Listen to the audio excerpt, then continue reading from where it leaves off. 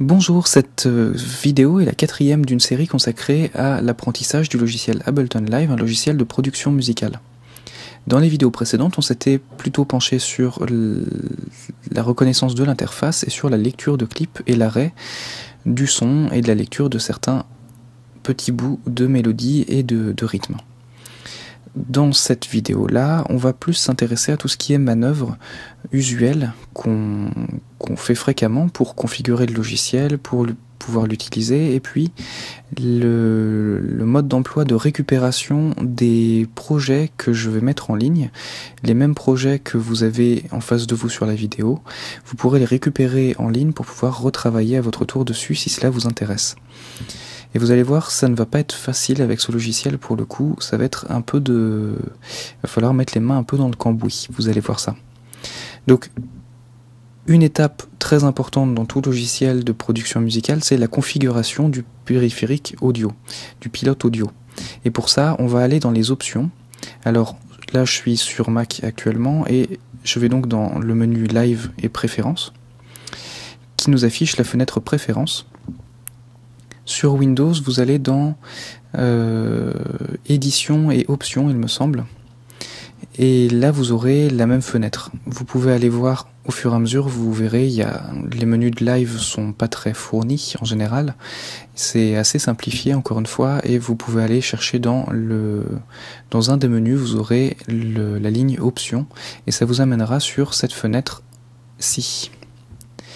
Alors cette fenêtre, elle a plusieurs onglets. On a Look and Feel, donc tout ce qui est l'affichage de l'interface, tout ce qui va gérer l'affichage et les, paramètres que vous voulez euh, modifier. L'onglet audio qui va être celui qui nous intéresse, mais on va continuer de faire le tour.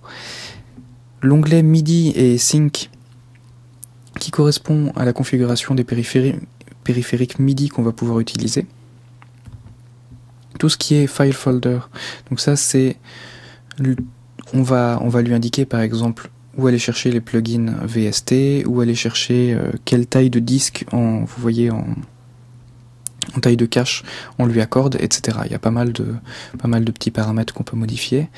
Euh, des paramètres de lancement de clips, d'enregistrement, tous les, paramètres par défaut, les comportements par défaut des clips en fait, qu'on euh, qu'on va pouvoir modifier le support multiprocesseur, etc., tout ce qui est licence, autorisation du logiciel, et la gestion de la librairie, de la bibliothèque en fait, pardon, en français, de la bibliothèque qui contient donc tous les sons et tous les packs que vous pouvez télécharger et installer sur votre logiciel. Alors, nous on va, comme je vous le disais, aller dans l'onglet audio, c'est celui qui nous intéresse le plus, et c'est là que vous voyez périphérique audio, c'est là qu'on va pouvoir configurer la façon dont Live va utiliser l'ordinateur pour lire du son. Vous avez différents types de périphériques audio, de pilotes audio. Là ici je suis sous Mac, donc j'ai le, pilote Core Audio, et vous allez pouvoir choisir quel type de, d'entrée audio vous allez choisir pour enregistrer du son dans live. Vous en avez euh, en général un certain nombre. Et les périphériques de sortie audio, ici je suis en sortie intégrée, c'est-à-dire le, les, haut-parleurs de l'ordinateur habituel. C'est là qu'on va pouvoir choisir la fréquence d'échantillonnage, etc., la latence par rapport à la carte son que l'on a, et qu'on va pouvoir effectuer des tests de latence justement pour vérifier que le pilote audio arrive à, à gérer tout ce qu'il a à gérer dans le temps imparti. Euh, si vous n'avez pas de son, en général, commencez par regarder ici. Si par exemple j'enlève mes sorties périphériques de sortie audio, évidemment si je lis du son, je n'aurai plus rien, puisque ma sortie audio est désactivée. Et ça peut être, là elle est désactivée, mais ça peut être euh, pire que ça, c'est-à-dire que vous pouvez très bien avoir une sortie audio qui ne fonctionne pas et donc vous n'entendez pas de son. Et donc dans ces cas-là, vous devrez configurer votre, votre sortie audio et votre entrée audio pour pouvoir enregistrer et lire, des, euh, et lire du son. Donc là, si je prends par exemple le microphone intégré dans mon périphérique d'entrée audio, je vais pouvoir enregistrer avec mon micro d'ordinateur, je ne vais pas le faire là, mais enregistrer avec mon micro d'ordinateur dans le, dans le logiciel pour enregistrer tout simplement ma voix, notamment, ou un instrument. Ensuite, une fois qu'on a choisi des, canaux des périphériques en fait d'entrée et de sortie valable, on va pouvoir configurer les canaux d'entrée et les canaux de sortie. Il suffit de cliquer sur ces boutons-là. Canal, la configuration pardon d'entrée va vous lister toutes les entrées mono et toutes les entrées stéréo dont vous disposez sur votre carte son. Ça peut être une carte son externe ou la carte son de l'ordinateur et vous allez pouvoir activer ou désactiver les différentes entrées et sorties audio. Enfin, les différentes entrées dans ce cas-là, pardon. Là, par exemple, j'ai un microphone stéréo, en fait, j'imagine, dans l'ordinateur. Et donc, j'ai l'entrée gauche mono, l'entrée droite mono et, ou l'entrée 1 et 2 stéréo, les deux à la fois. Donc là, si si je n'en active aucune, je ne vais pas pouvoir utiliser, bien évidemment, le microphone intégré, vous vous en doutez. Il faut activer donc soit l'un, soit l'autre, soit les deux. Et dans ces cas-là, vous pourrez choisir entre toutes les configurations. Pareil pour le périphérique de sortie, si j'enlève mon canal stéréo, dès que je voudrais lire du son, je n'entends plus rien, bien évidemment, puisque j'ai désactivé ma sortie audio en enlevant la configuration de sortie stéréo et euh, par la même mono. D'ailleurs, indication assez intéressante, on voit bien qu'on a une sortie de la piste batterie qui arrive dans la piste master, mais la piste master cette fois-ci est en bleu, ce qui signifie que on ne l'entend pas dans la sortie. Il ne passe par aucune sortie en fait, tout simplement. Pour le réentendre, il va falloir réactiver l'entrée stéréo, la sortie stéréo, pardon.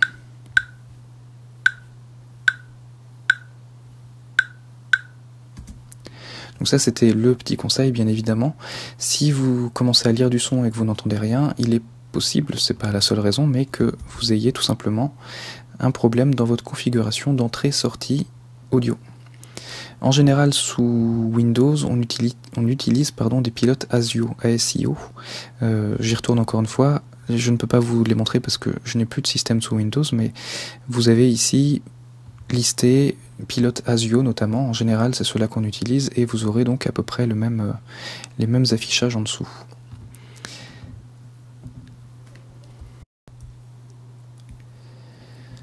Donc ça, c'était la toute première étape. En général, quand vous utilisez un logiciel de production musicale, vous, commencez par configurer votre matériel, c'est-à-dire les entrées sorties audio en fonction de votre carte son externe ou de votre carte son interne pour pouvoir les utiliser évidemment de la façon dont vous le souhaitez.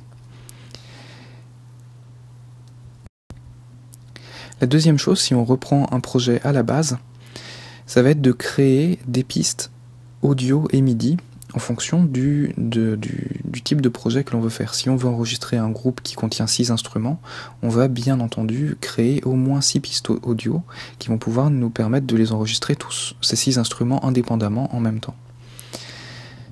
Chacun donc sur une piste. Pour créer des pistes audio et des pistes MIDI, on va dans Live aller dans le menu Créer, insérer piste audio ou insérer piste MIDI, tout simplement. Si je le fais, insérer piste audio. Live me rajoute une piste audio. Et il me la rajoute. Il me la rajoute juste à droite de la piste que j'ai sélectionnée. Par exemple, si je fais créer une piste audio ici, il va me la créer juste à droite de celle que j'ai sélectionnée. C'est un détail, mais c'est toujours pratique de le savoir quand on ne sait plus où elle se trouve. Et en général, il la sélectionne juste après. Donc là, j'annule la création de piste audio. Pour créer une piste MIDI, insérer piste MIDI, c'est exactement le même système, il la crée juste à droite de la piste déjà sélectionnée.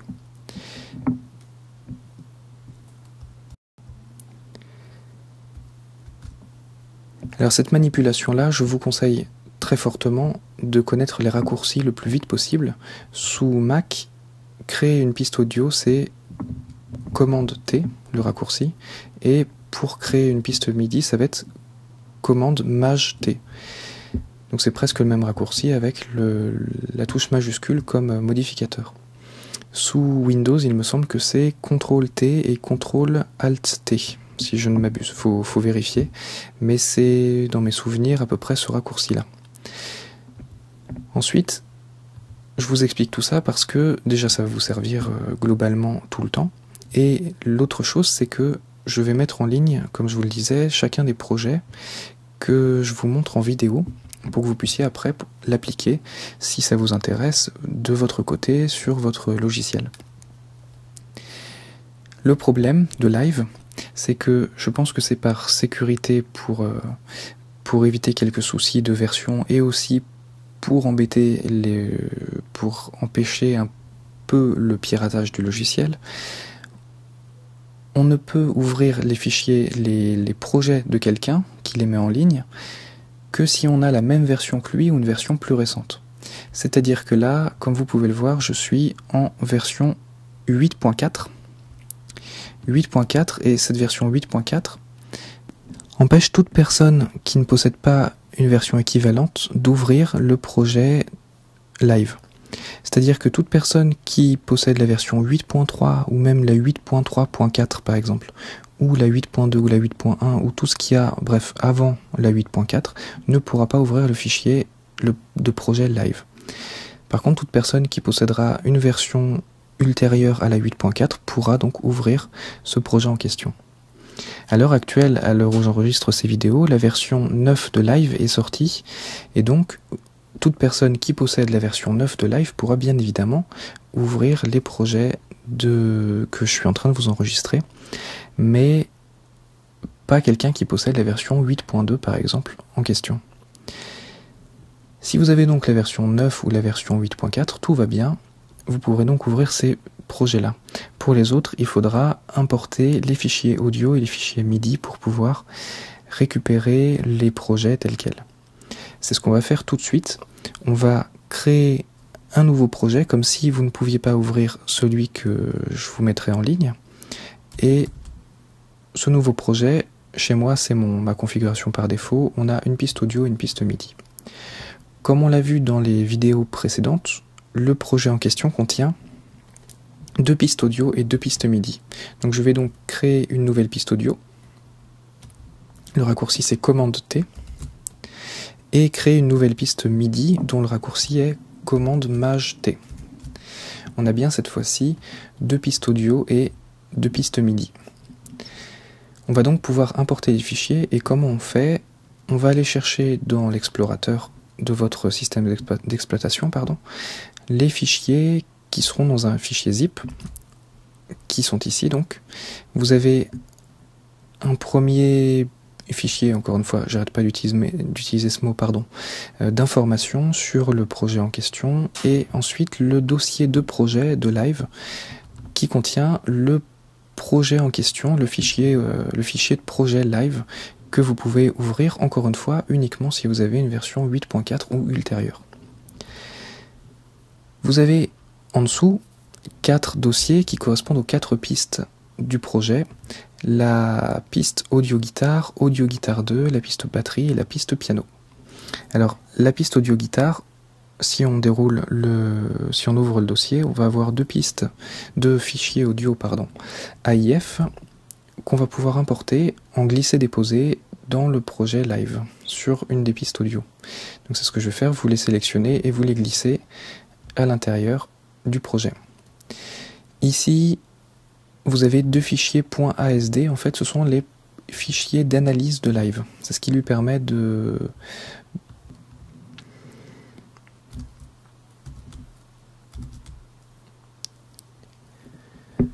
de se noter dans le détail, euh, quand il a fini d'analyser tous ces fichiers audio, ça lui permet de, les relire plus facilement, j'imagine, et de faire du travail dessus beaucoup plus rapide. C'est du moins comme ça que je l'interprète. En tout cas, vous n'avez pas besoin de les glisser à l'intérieur du, logiciel. Il va en créer à chaque fois que vous en ouvrirez un dans un projet notamment, ou même dans la bibliothèque, il va en créer un automatiquement pour pouvoir l'analyser plus vite la fois d'après nous, ce qui nous intéresse, c'est les fichiers .aif, qui sont des fichiers audio, et que vous importez donc dans le set live, le projet live. On va faire pareil avec la piste audio guitare 2, le dossier audio guitare 2. On va prendre tous les points AIF. Donc 1, 3 audio et guitare 2, guitare 3, guitare 4 qu'on va importer dans cette piste audio 2 en glisser, déposer encore une fois. On s'occupera un tout petit peu plus tard des pistes MIDI.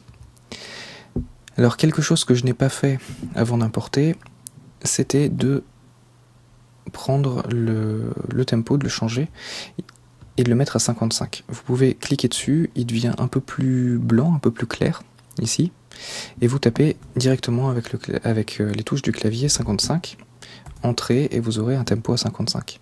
Deuxième solution, c'est, si je remets à 110, de maintenir enfoncé en cliquant dessus avec le bouton de la souris, pardon, maintenir en cliquant dessus, enfoncer et vous baissez après le curseur de la souris, ça va vous baisser jusqu'à 55. Ça reste quand même plus rapide au clavier, mais ça permet de, faire des micro-modifications à la souris, ce qui peut être pratique. Si je lis maintenant déjà les échantillons que j'ai, les clips que j'ai importés, celui-ci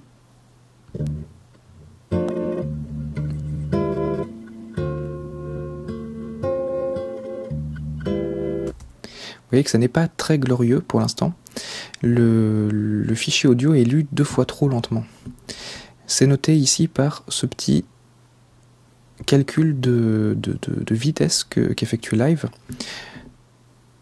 Et on va devoir changer cette vitesse-là pour lui dire que la, vitesse originelle du clip est bien 55. En général, il arrive à le calculer, ça marche plutôt bien, sauf malheureusement dans ce premier cas, ça ne fonctionne pas. Et donc, je tape au clavier directement dessus, 55, et il va donc me le calculer.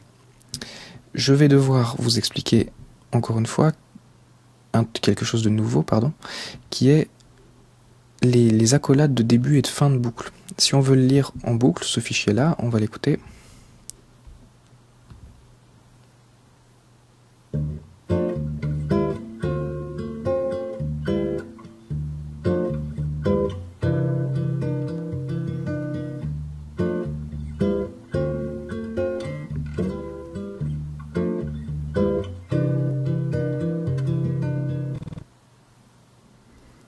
Vous voyez que le problème c'est que là, il va lire du début jusqu'à la fin de la collade ici, et qu'après, je vous, le dis tout de suite, il va redémarrer du début et il va relire ces 8 mesures en boucle. Nous, on veut bien évidemment pas des 8 mesures, donc on va déplacer la boucle droite de la collade vers le chiffre 5, et ça va nous permettre d'avoir quelque chose de plus calibré et exactement ce qu'on avait à l'origine.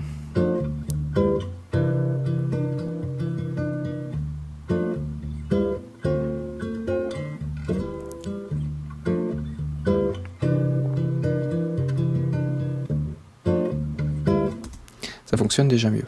On va devoir malheureusement faire pareil sur l'échantillon suivant, qui est lui aussi à 110.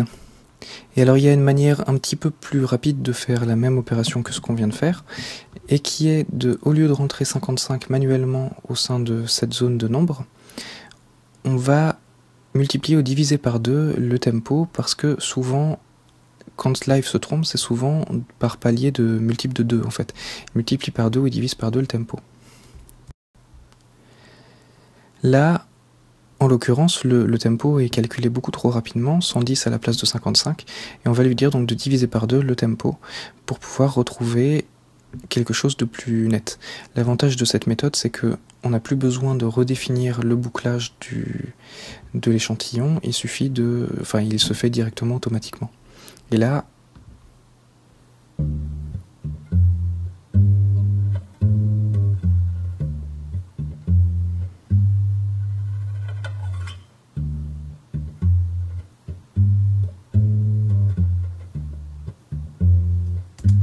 on a un échantillon qui est donc bien calibré.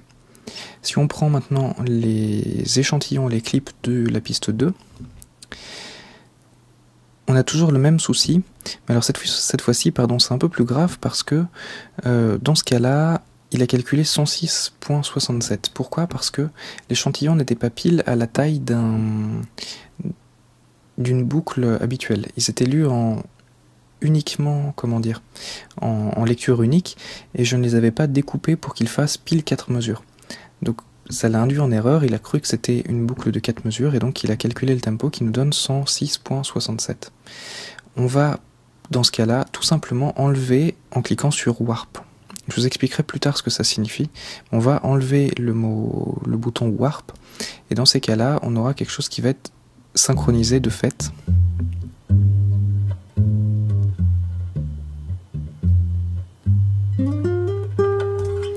Mais qui ne pourra donc plus être lu en boucle, c'est noté ici. On ne peut plus lire en boucle ce, cet échantillon-là puisqu'il n'est plus calculé pour bien tomber sur les temps. Le terme warp, en fait, ça met des balises sur l'échantillon pour pouvoir le caler à peu près sur le tempo, de, de la musique.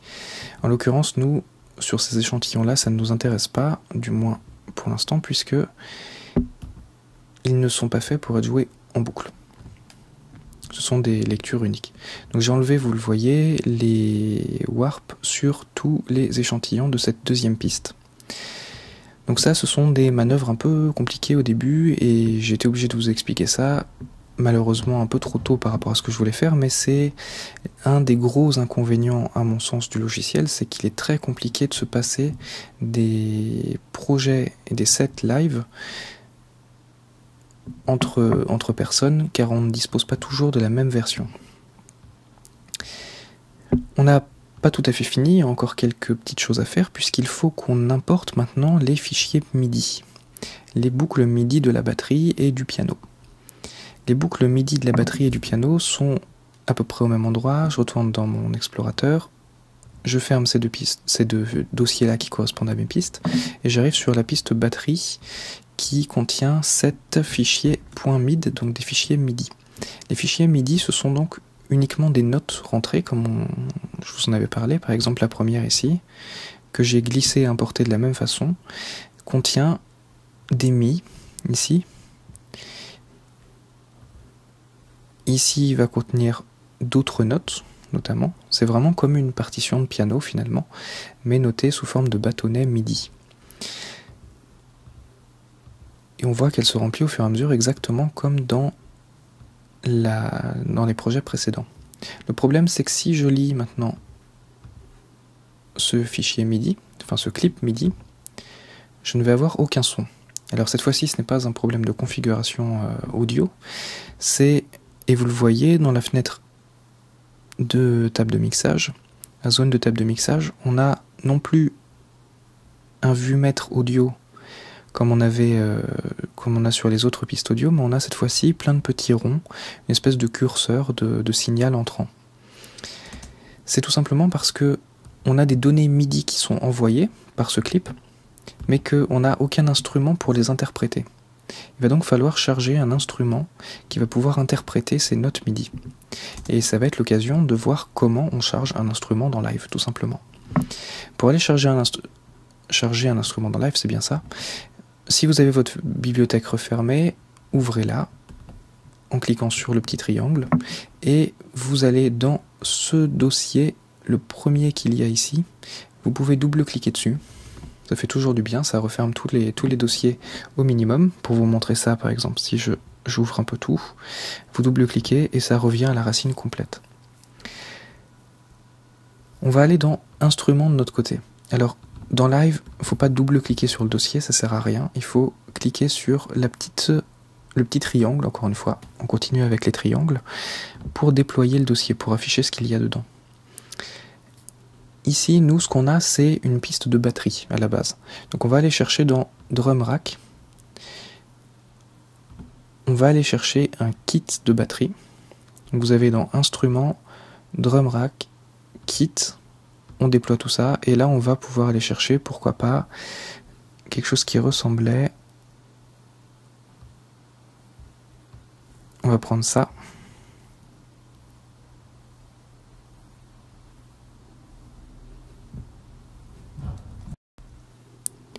Et pour, parce que je, ne voulais pas montrer bêtement, mais pour charger un instrument, on a une manière très simple. Vous cliquez sur cet instrument en question et vous le glissez déposez sur la piste en question.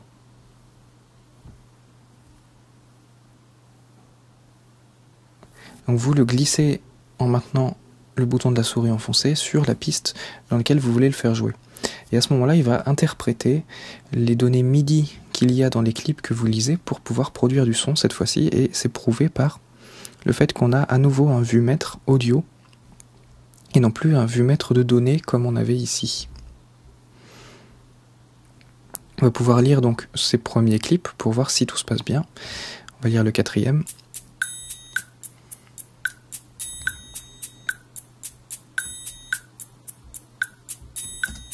Vous voyez que là, l'instrument kit batterie interprète bien ces notes MIDI comme une, demande de jouer, un ordre de jouer certains sons, dans un ordre donc bien précis.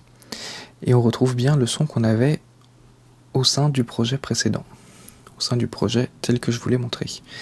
Et maintenant, on va pouvoir finir en mettant un dernier clavier pour pouvoir lire les notes de clavier que j'avais mis dans le projet. On retourne ici et on prend le piano où on a trois fichiers MIDI qu'on va pouvoir importer dans le projet.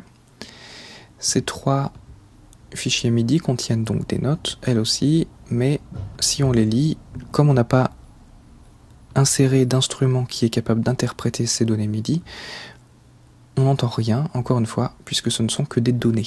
Ce ne sont pas des sons, ce sont vraiment des données indicatives sur des notes qu'on demande à un instrument de jouer.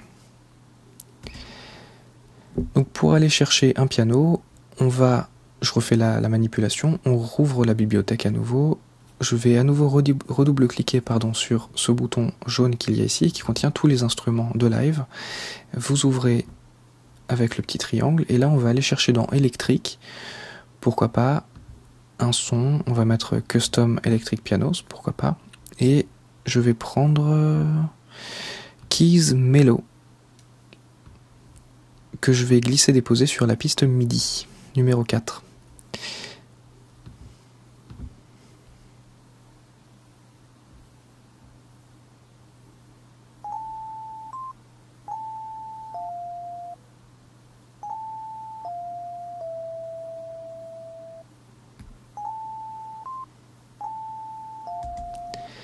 Voilà, on a donc notre piano qui joue à nouveau, alors qu'avant on n'entendait rien, et c'est prouvé par le petit vumètre qu'il y a là. Alors il va y avoir une dernière étape à faire. Est-ce que je me suis rendu compte que ça doit être la vieillesse qui, qui fait son œuvre? J'entends tout de plus en plus haut et que ma guitare était accordée un tout petit peu aigu, un tout petit peu trop aigu. Euh, quand j'ai enregistré mes, mes extraits audio. Et donc si je lis les deux en même temps, vous allez entendre que ce n'est pas glorieux du tout.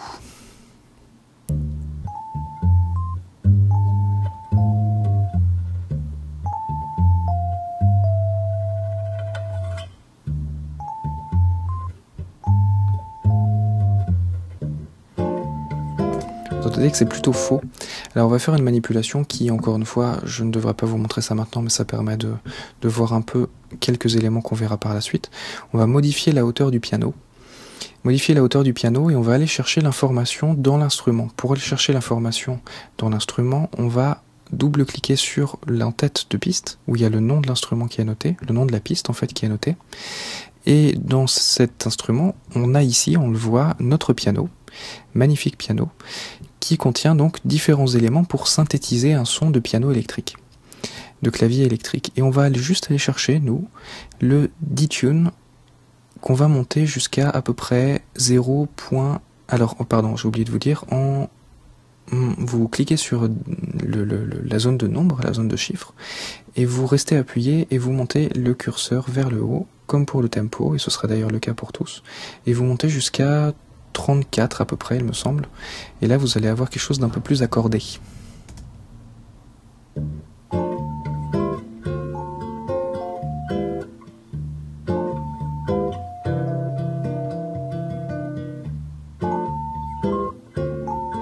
Voilà, c'est déjà un peu mieux.